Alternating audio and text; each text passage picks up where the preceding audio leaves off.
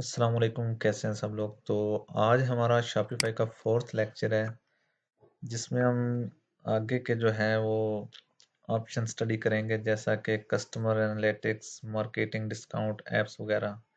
क्योंकि हमने last time products में प्रोडक्ट्स ऐड करना और कलेक्शन वगैरह का सीखा था कलेक्शंस कैसे बनाई जाती हैं।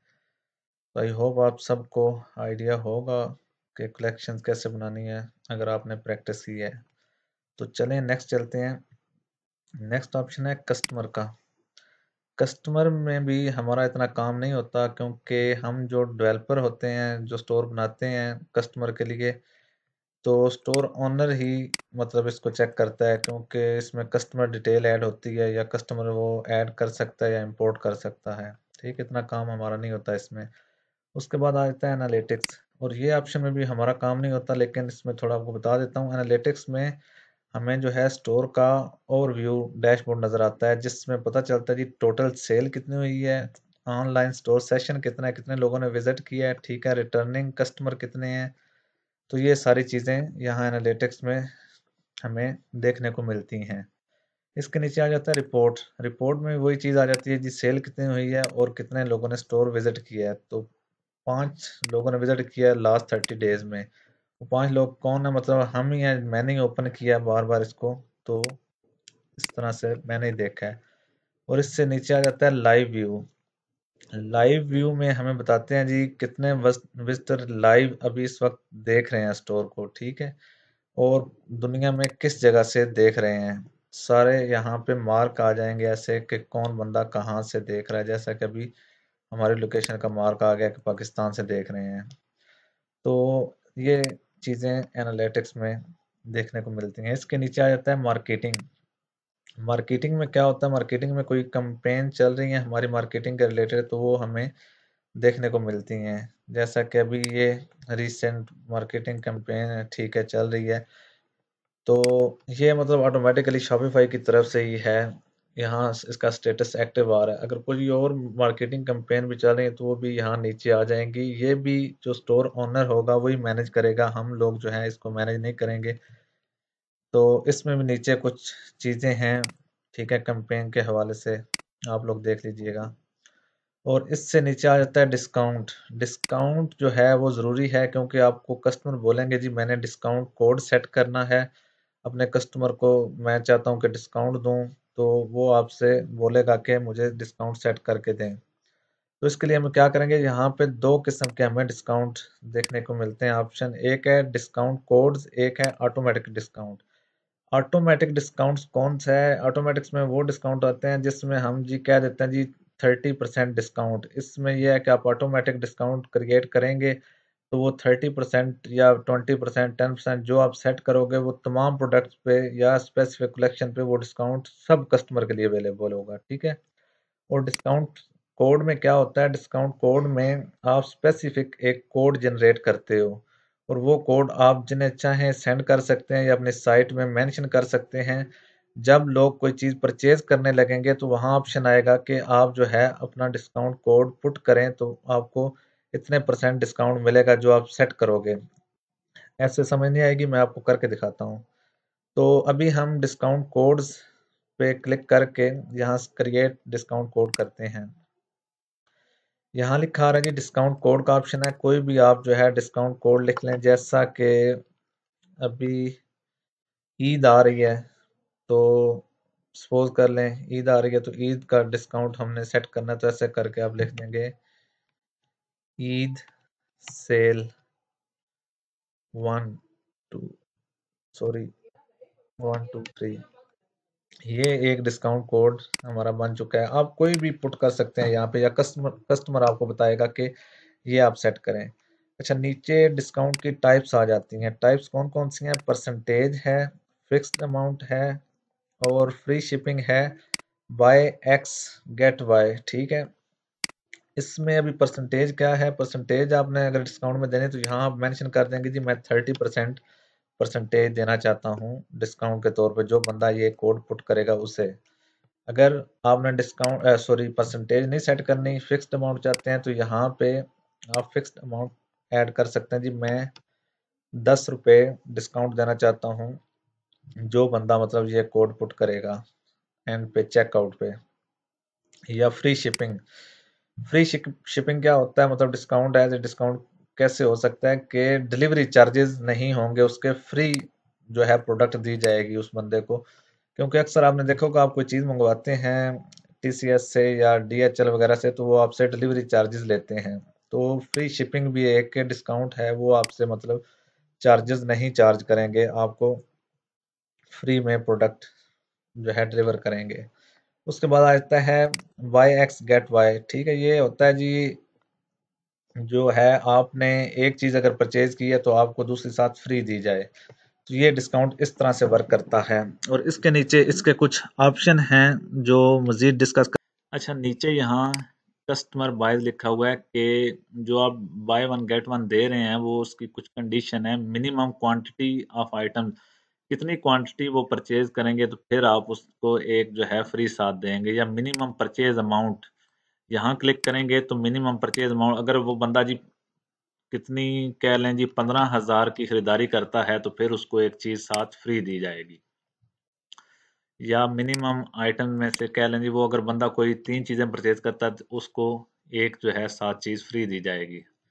तो यहाँ आ जाता है एनी आइटम फ्रॉम मतलब आप जो है एक स्पेसिफिक कलेक्शन सेलेक्ट कर सकते हैं कि किस कलेक्शन पे आपने देना है डिस्काउंट तो यहाँ अगर मैंने कलेक्शन सेलेक्ट किया तो यहाँ नीचे ब्रोज पे क्लिक करेंगे तो तमाम कलेक्शन जितनी हमने बनाई होंगी, वो सारी शो होंगी हमें यहाँ पे। तो यहाँ से हम चूज़ कर लेंगे कि हमने किस कलेक्शन पे डिस्काउंट देना है।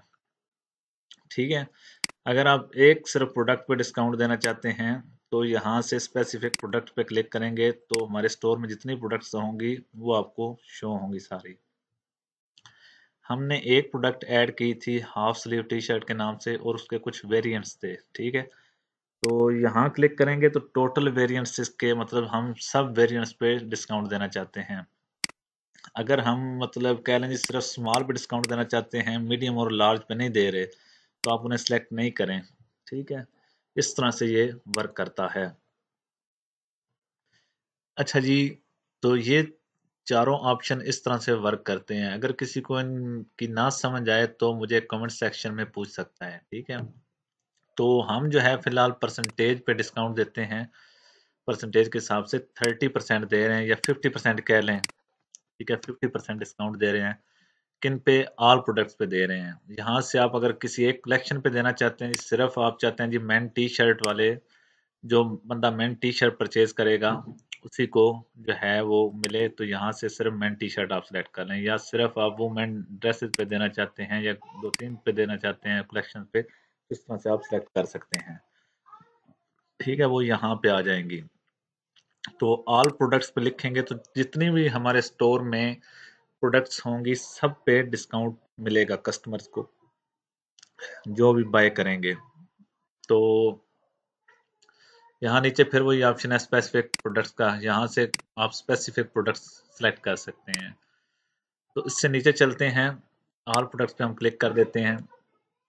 तो मिनिमम रिक्वायरमेंट्स आ जाता है नीचे ऑप्शन तो रिक्वायरमेंट आप क्या रखना चाहते हैं? नन कर दें तो कोई रिक्वायरमेंट नहीं कस्टमर के लिए। या फिर मिनिमम परचेज अमाउंट पे आप देना चाहते हैं डिस्काउंट तो यहाँ लिख दें जी, कोई बंदा अगर 2000 की शॉपिंग करता है तो उसे 20 परसेंट डिस्काउंट मिलेगा, ठीक है? सॉरी ट्वेंटी नहीं फिफ्टी परसेंट डिस्काउंट मिलेगा। इससे नीचे ऑप्शन आ जाता है मिनिमम क्वांटिटी का, ठीक है? कि कोई बंदा अगर पाँच चीज़ें परचेज करता है तो उसको फिफ्टी परसेंट डिस्काउंट मिलेगा। तो अगर आप ये रिक्वायरमेंट ऐड करना चाहते हैं आपका कस्टमर कहता है जी मुझे रिक्वायरमेंट ऐड कर दें कि मिनिमम परचेज पे हम फिफ्टी परसेंट डिस्काउंट देंगे या मिनिमम आइटम्स पे देंगे तो आप उसे सेट कर दें। नहीं तो यहाँ नन पे क्लिक करके नेक्स्ट पे चलते हैं। उससे नीचे आता है कस्टमर एलिजिबिलिटी तो यहाँ ऑप्शन है एवरीवन एवरीवन का मतलब है कि हर किसी को डिस्काउंट आप देना चाहते हैं या स्पेसिफिक ग्रुप्स ऑफ़ कस्टमर तो जब आपके स्टोर पे काफ़ी ऑर्डर आ रहे हैं तो आप उन कस्टमर के कुछ ग्रुप बना सकते हैं। तो ठीक है, यहाँ अगर ग्रुप पे क्लिक करेंगे तो यहाँ से आप ब्रोज करके ग्रुप को डिस्काउंट दे सकते हैं। या आपके ईमेल सब्सक्राइबर होते हैं, उनको देना चाहते हैं या सिर्फ़ न्यू कस्टमर को देना चाहते हैं या रिटर्निंग कस्टमर को देना चाहते हैं तो इस तरह से आप कोई भी ग्रुप सेलेक्ट कर सकते हैं यहाँ से। जैसा कि मैं चाहता हूँ, जी ईमेल सब्सक्राइबर जो हैं हमारे वेबसाइट के, उनको मिले। या जितने भी न्यू कस्टमर आ रहे हैं सिर्फ़ हमारी वेबसाइट पे, उनको मिले, या जितने रिटर्निंग कस्टमर हैं, उनको मिले, ठीक है? तो इस तरह से आप कोई भी ग्रुप सेलेक्ट कर सकते हैं। तो यहाँ नीचे आ जाता है स्पेसिफिक कस्टमर स्पेसिफिक कस्टमर की कोई मतलब जितने भी आपके कस्टमर हैं, उनकी लिस्ट में से कोई आप एक, दो चूज़ कर लो तो उन्हें मिलेगा, ठीक है? अभी यहाँ पे कोई भी कस्टमर नहीं है स्टोर का तो हमें वो लिस्ट शो नहीं हो रही। नीचे आ जाती है जी यूजेज लिमिट, ठीक है? यूजेज लिमिट में क्या है? Limit number of item this discount can be use in total. यहाँ आप लिमिट सेट कर सकते हो कि कितनी दफ़ा ये डिस्काउंट जो है कोड यूज़ हो और उसके बाद ऑटोमेटिकली ऑफ़ हो जाए। मतलब मैं यहाँ लिख देता हूँ फिफ्टी टाइम। अगर पचास दफ़ा ये डिस्काउंट कोड वर्क करेगा तो उसके बाद ऑटोमेटिकली ये वर्क करना छोड़ देगा, ठीक है?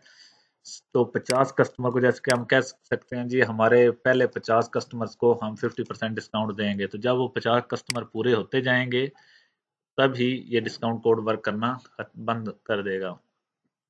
उसके नीचे आता है limit to one use per customer तो यहाँ पे आप क्लिक कर देंगे तो एक कस्टमर सिर्फ़ एक ही दफ़ा डिस्काउंट ले सकेगा। वो दूसरी दफ़ा ट्राई करेगा तो उसको डिस्काउंट नहीं मिलेगा, ठीक है? यहाँ से आप लिमिट सेट कर सकते हैं। उसके बाद नीचे आ जाता है डेट ठीक है? आप स्टार्ट डेट किस डेट से आप डिस्काउंट स्टार्ट करना चाहते हैं, ठीक है? नीचे आ जाता है टाइम और यहाँ से सेट एंड डेट भी आप कर सकते हैं। किस डेट पे ऑटोमेटिकली डिस्काउंट जो है ऑफ़ हो जाए। तो यहाँ मैं सेव डिस्काउंट ये सारी सेटिंग करने के बाद सेव डिस्काउंट पे क्लिक कर दूँगा। This one error customer selection a minimum one save search और तो वो यहाँ से कह रहे हैं जी, आपने स्पेसिफिक कस्टमर पे किया तो कोई एक कस्टमर आप सिलेक्ट करें तो फिर ही हो सकता है। तो यहाँ हम एवरी वन पे कर देते हैं जी, हर एक को डिस्काउंट मिले। तो अभी हमारा डिस्काउंट कोड क्रिएट हो चुका है, ठीक है? तो ये डिस्काउंट कोड है हमारा और यहाँ से इसका स्टेटस एक्टिव आ चुका है। तो इसको हम देखने के लिए क्या करेंगे? स्टोर के फ्रंट पे जाएँगे और किसी एक प्रोडक्ट पे जाके ऐड टू कार्ट करते हैं।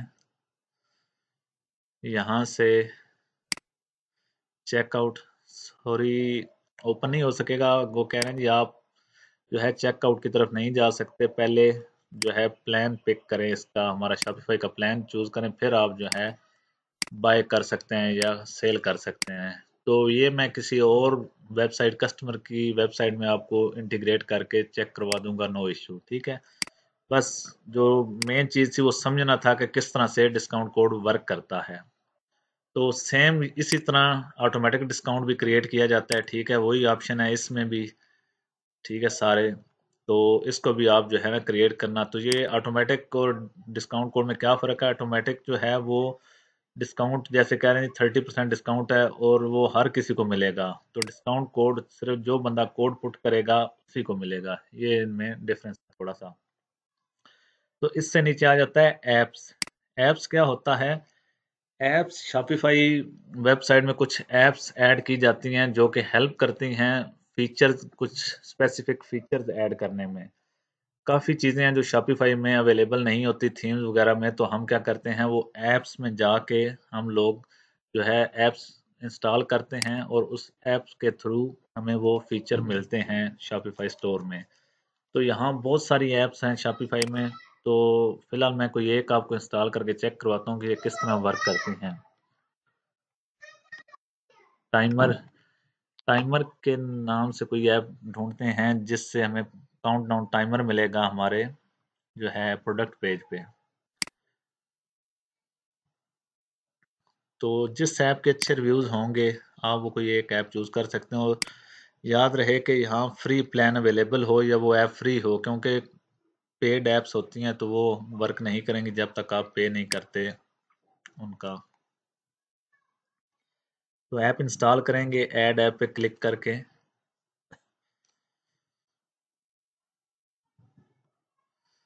यहाँ से फिर इंस्टॉल ऐप पे क्लिक करेंगे।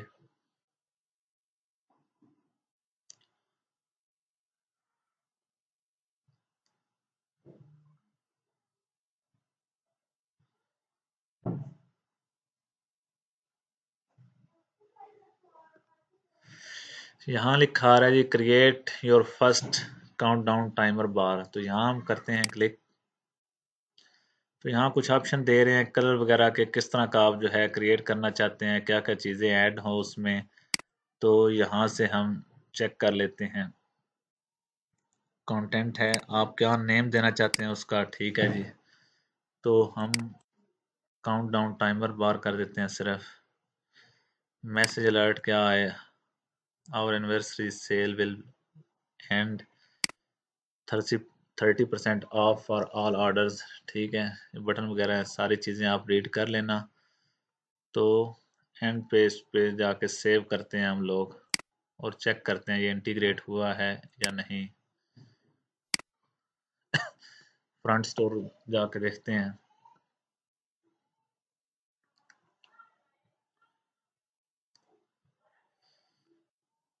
प्रोडक्ट पेज पे चलते हैं। सॉरी, ये प्रोडक्ट पेज का नहीं था। ये उन्होंने फ्रंट पे शो करवा दिया हमें टाइमर ये आप देख सकते हैं, हमने जो इंटीग्रेट किया वो टाइमर बार थी। तो इसलिए उन्होंने जो है वो वहाँ पे इंटीग्रेट किया है। देख लें कि टाइमर बार थी, इसलिए उन्होंने यहाँ पे इंटीग्रेट किया है वो। लेकिन इसी तरह से दूसरा कोई और टाइमर आप जो ऐप चेक करेंगे, वो आपकी प्रोडक्ट पेज पे वर्क करेगी। तो क्योंकि बहुत ज़्यादा ऐप्स होती हैं, कोई भी आप जो है डिफरेंट ट्राई कर सकते हैं। अगर इसकी भी ना समझ आए तो दोबारा जो है कमेंट में पूछिएगा, मैं किसी और ऐप पे वीडियो बना दूँगा। या इनशाला जब जाके हम स्टोर अपना कंप्लीट जो है स्टोर की करेंगे कन्फिग्रेशन या कस्टमाइजेशन करेंगे तो तब हम काफ़ी ज़्यादा ऐप यूज़ करेंगे और उसके बारे में आपको बताया जाएगा।